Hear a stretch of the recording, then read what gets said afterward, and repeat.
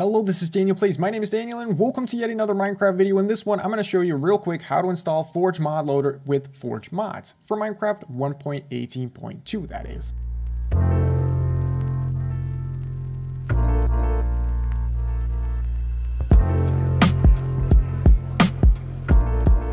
Course, before we get started, hit that thumbs up on this video if you already enjoy it. Also, we have our own Minecraft server, which is actually sponsored by Apex Minecraft Hosting. So if you use the link down below in the description and actually get yourself a server, Using that link, I will earn a small commission and that way you actually directly support my channel. To get started installing Forge and Forge mods, open up your Minecraft launcher because it is important that you launch Minecraft 1.18.2 before you start adding mods to it. So make sure to select the latest release and if it's not showing up over here, go over to installations. If you're actually watching this in the future and 1.18.2 is not here anymore, you can click new installation, name it whatever you want, and under version, just scroll down and look for 1.18.2.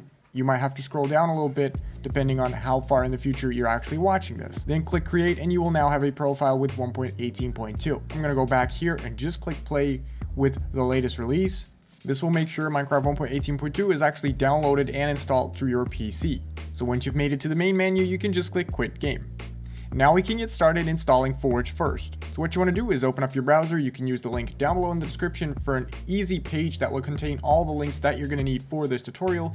But of course, you can also look everything up yourself. So the link in the description will take you to this website where you click how to install Forge. You will be taken to this page if you actually use the link down below in the description.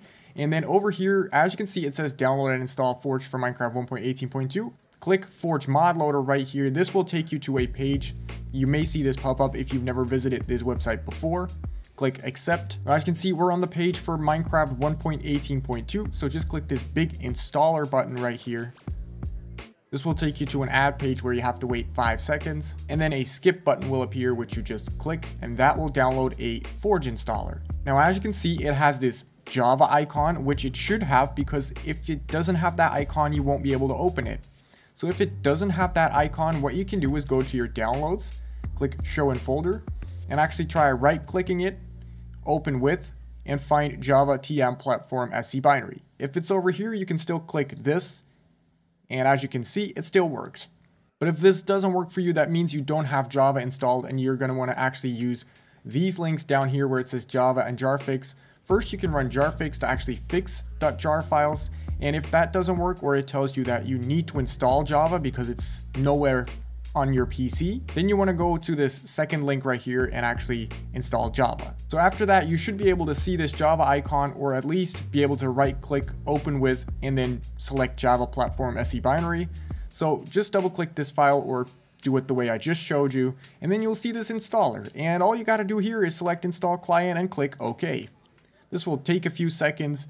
Sometimes it will take about a minute, and then after a while it will say successfully installed client profile forge for version 1.18.2.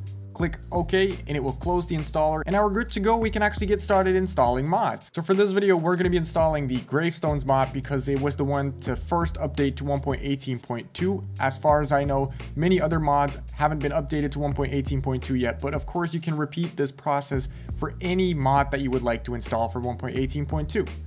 So as you can see, the gravestone mod right here, this page will look identical for other mods and the process is identical. You scroll down to 1.18 and find the download that says 1.18.2 and click the download file button right here. And then you'll have to wait five seconds for the download to start. And there we go, we've just downloaded the mod. I'm gonna drag this over to my desktop real quick I suggest you do so too, or at least put it somewhere where you can easily drag it into another folder, because what you want to do now is go over to your search bar right here, type in percent, app data percent, hit enter, then find the folder that says .minecraft, and if you've never installed mods before, you won't have a mods folder, so what you want to do is right click, new folder, and name it mods lowercase.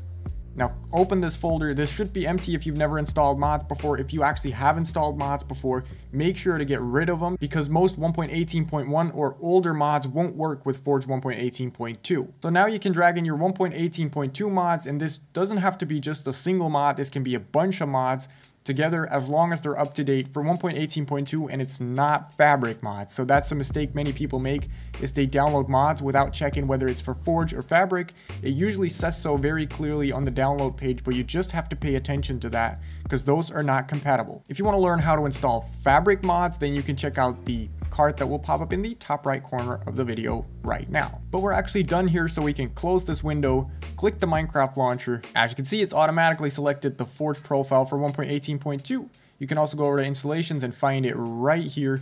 What you want to do is click these three little dots and click edit and then click more options because if you have more RAM available in your system than at least 4 gigabytes, you can actually allocate some more RAM to Minecraft, which is going to be particularly useful if you're going to be using a lot of mods. So if you have 4 gigabytes of RAM in your system, don't even touch this setting, but this 2G is actually the amount of gigabytes that is allocated to Minecraft. So if you have 8 gigs in your system, you can safely set this to 4. And if you have more than that, you can set it to 6. But anything beyond that, you won't really notice because you'll also be taking away a lot of RAM that the rest of your computer needs for it to just be able to run Windows, for example.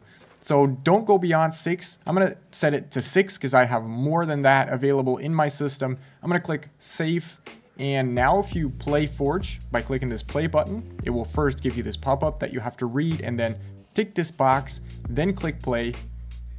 But now you'll actually be playing Forge with mods with a lot more RAM available to Minecraft. So here we are in Minecraft 1.18.2. As you can clearly see, it says three mods loaded, of which two are actually just Minecraft and Forge. And the third one is the Gravestone mod that we just downloaded. But like I said, you can use this process and this tutorial for any mod that you would like to download and install for Minecraft 1.18.2. And now be careful with your existing worlds. You don't want to actually mess up any of your existing worlds that you previously didn't use mods on because afterwards you won't be able to load them without the mods. So you'll always have to get back to those worlds with mods. So don't touch your existing worlds is my advice. Just load up a brand new world and use the mods in that world. So that's how you install Forge for Minecraft 1.18.2 with mods. If this video actually did help you out in installing Forge mods, then be sure to, of course, give it a thumbs up the least you can do when the tutorial was actually helpful. Once you're down there, like I said, hit that subscribe button if you hadn't already, and also check out my Twitch channel where I do streams on the Minecraft server that I mentioned earlier. It's play.danielplays.net, and I actually do streams over on Twitch. The Twitch handle will be somewhere down there on the screen right now. And then, of course, as always, I'll catch you in the next one. See ya.